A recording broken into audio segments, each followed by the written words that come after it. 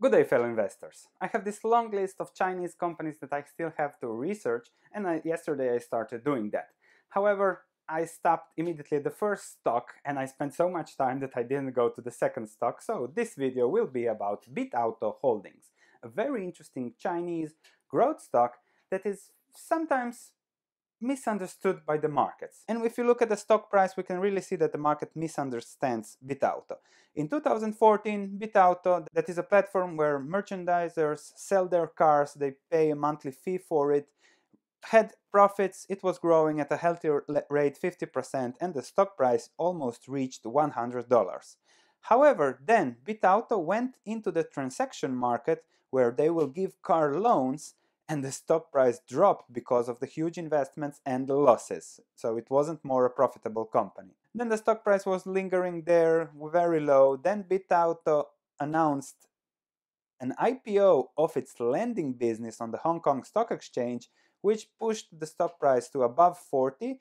But then, with all the issues that are going there in China and with negative news due to a loss coming from the options given to employees of this Xinin IPO, the stock price again dropped to the current 28.59. So now there is volatility, but there is also a business behind every stock, and no matter how the stock is volatile, the business is always there.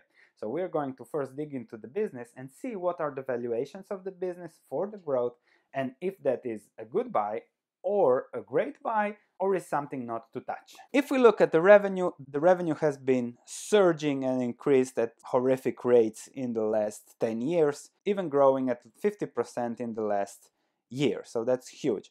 However, the net income is negative and net income per share is 17 renminbis or yuans. So very negative. Nevertheless, the book value of the holding has been growing constantly.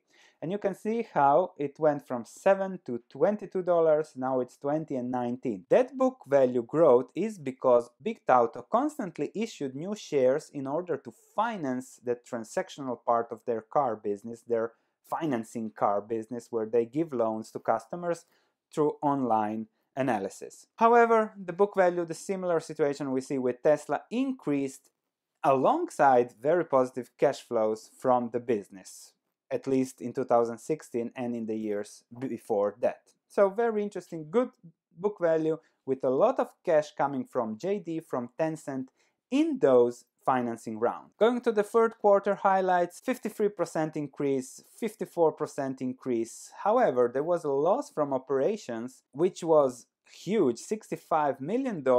However, that increased loss was mainly due to newly granted options by Xinin, or however do I pronounce, I apologize in advance, to its employers in the third quarter. However, if we take away that expense, which is not a cash expense, non-GAAP income from operations was $40 million. So that was a positive. And for the quarter, non-GAAP basic diluted income per ADS is 0.23 cents. So if you multiply that by 4, you get to almost a dollar in earnings. A dollar in earnings, price is 28, price earnings ratio, let's say 28, non-GAAP earnings, something to note, and the growth is 50%. A price earnings ratio of 28 is nothing for a company growing at 50%. Let's dig deeper. What does BitAuto do?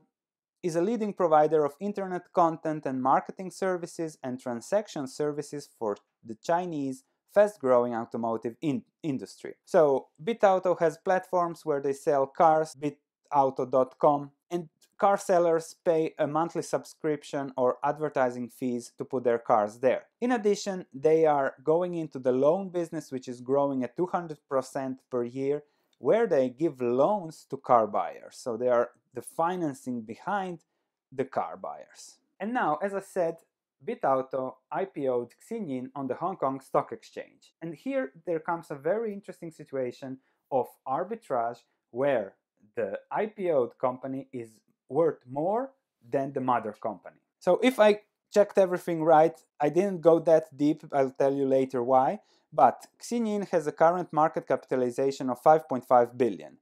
BitAuto Holding owns 42%, which is $2.41 billion. The current market capitalization of BitAuto Holding is 2 billion, so there is a difference of $300 million negative. So the car platform has a negative value of 300 million dollars, but the trading platform is the profitable business. So it's very, very interesting how that works and how the US market differently values Chinese businesses than the Hong Kong market. At the IPO, Xinyin was very high, then the stock price drifted lower and lower because the US stock price drifted lower and lower, which means that there is a difference in perspectives from Hong Kong Chinese investors and US investors. What is very important to look for when analyzing such a company is the actual car market in China. And we can see that it has been growing at staggering rates and is still growing. We don't have yet full data for 2017, but the growth is expected to be 5% in comparison to 2016. So what's the main point here? Xinyin is positive, is operating positively. You see it here, the operating cash flows are there. The price to earnings ratio is 28 and the revenue is 50%. Now, this is a good growth story. I think BitAuto will do well in the future if they manage to continue to grow at these healthy rates, if they manage to find good borrowers for their loans and they don't see default rates, if China continues to grow and everything is fine, that will be okay. So we can see profitability and then if profitability comes from the loan business and growth of 50%, then BitAuto stock would explode again as it did already twice in the past. The risk is of course that there will be issues in China, China slowing down, that would be a terrible situation for all Chinese stocks. However, given the global growth, given the strength of the global economy, that's unlikely to happen in the short term. What will happen in the short term is that there will be no more options for employees, which were related to the IPO.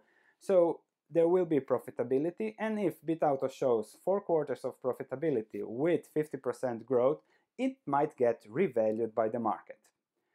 However, we have seen other companies that are also growing at 50% that don't make loans, are not in the risky Chinese loan business and have lower price earnings ratios. A company that we already discussed that was at 12 when I first made the video, then it went to 20 something, and now it's back to 15 as again Chinese stocks are very volatile, but it still has now a price earnings ratio of 9. It pays a yearly dividend is UPI Holdings. You can check the video here and you can compare it to BitAuto. Similar growth, 50%, however, similar market, wealth, money, financing, and so. However, I think UPI is cheaper than BitAuto Holdings for this moment. I don't know how it will grow. Perhaps the potential is bigger with BitAuto because it has the backing of Tencent, of JD, of whoever there. So it might get better recognized and it is a bigger company. If you're nevertheless, if you're looking for Chinese growth, BitAuto might be a very, very interesting player. For me personally, you know, I really like low risk, high reward plays so I will wait with BitAuto. I want to see it below 20 so that the price earnings ratio is at least 15 for such growth with a healthy business model, no risk coming from the, all the regulation in financing that comes in China. And then I will look again at BitAuto. So for now, here is the story. Perhaps you will like it, depending on how it fits your portfolio. It will be probably a good investment at these levels, especially if the growth grows. However, I prefer less risk. That's it. Hope you don't mind. Thank you for watching, check the UPI video and I'll see you in the next video.